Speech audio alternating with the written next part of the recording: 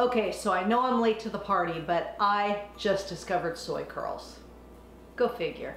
Hi, Debbie Chu here from Chew on Vegan and welcome back to my kitchen. If you're new here, I'm a plant-based RN and I follow the Starch Solution. For more information on the Starch Solution, I'll leave a link to Dr. McDougall's book in the description box below. On my channel, you'll find quick and easy whole food plant-based recipes. So if that sounds good to you, please subscribe. You can also follow me on Instagram. And if you're new to this way of eating or if you just need some more support, I started a Facebook group. So as I stated earlier, I really just discovered soy curls. I had heard of them on and off over the years, but never really paid them any mind. And then all of a sudden I started getting flooded with videos in my inbox of people using soy curls for all kinds of things. I had no idea. So I'm gonna give it a whirl today. Um, no guarantees, but I'm gonna try it and then let's see how it goes. So let's get started. So I ordered these soy curls, they're Butler soy curls. I ordered them on Amazon. And basically they are whole non-GMO soybeans. That's it. That's all that's in here. So how can it be bad? All right, so supposedly you need to rehydrate them. This is what they look like. They're just dehydrated. So I'm gonna pour some of these in a bowl and cover them with some warm water.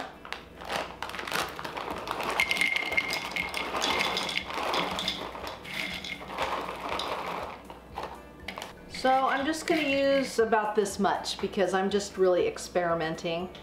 So I'm gonna put some water in here and then, then I'm just gonna let them sit for 10 minutes or so and let them rehydrate. Then I'll figure out what I'm gonna do with them. Okay, so they've rehydrated. They're nice and soft now. So I'm gonna drain off the excess liquid and squeeze out whatever I can. And then I'm gonna season them up and I think I'm gonna make like chicken tenders kind of a thing. Okay, so I drained out the excess moisture. I just put a, I just put them in a towel and squeezed it. I'm just gonna use some granulated garlic. And maybe some onion powder.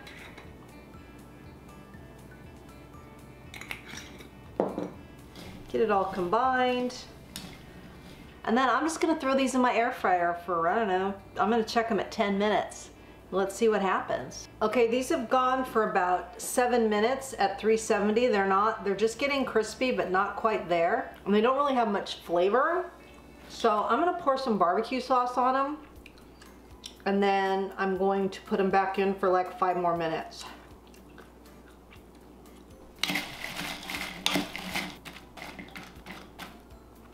Okay, back in the air fryer for about five minutes.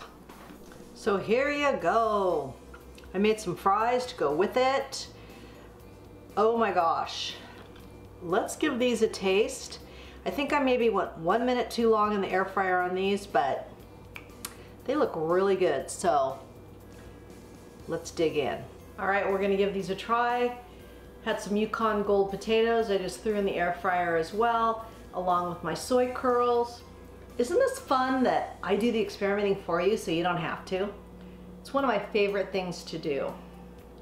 So, soy curl. We just put a little bit of onion powder, garlic powder.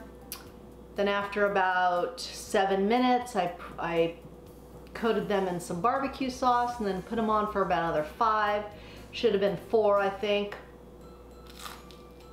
Mmm. They're crunchy. Really nice texture. Mmm. I think I like these.